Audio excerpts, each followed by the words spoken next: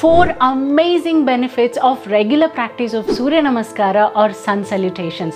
First one, the best of all is that it's a wholesome practice. So it's the simplest and quickest way to get your daily dose of movement, breath work and mindfulness if you do it right. Number two is that it's the best and healthiest alternative for your morning cup of coffee. Confused?